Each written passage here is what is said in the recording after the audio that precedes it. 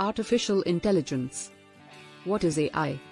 Hello and welcome to this video where we'll be discussing the basics of AI or artificial intelligence. Have you ever wondered how Siri, Alexa, or Google Assistant can understand and respond to your commands? Well, that's AI at work. What is AI? AI refers to systems that can perform tasks that normally require human intelligence, such as understanding language, recognizing objects in images, or making predictions. These systems are designed to learn from data, so they can improve their performance over time.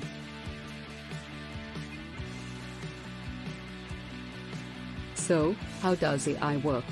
It's all about using algorithms and statistical models to analyze and learn from data.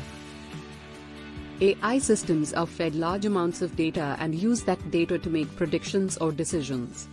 Types of AI There are several types of AI, but two of the most common are narrow AI and general AI. Narrow AI refers to systems that are designed to perform specific tasks, such as recognizing objects in images or understanding spoken language.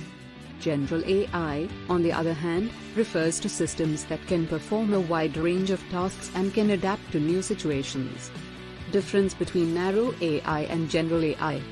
So, where do we see AI being used today? AI is used in many industries, from healthcare and finance to transportation and retail.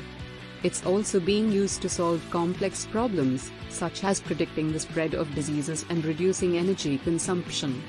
The future of AI. The future of AI is very exciting.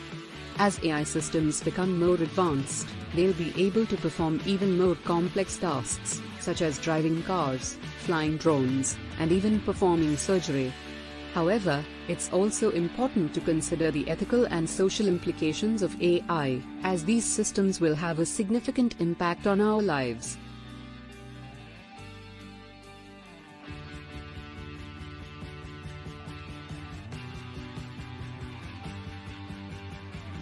And that's a basic overview of AI.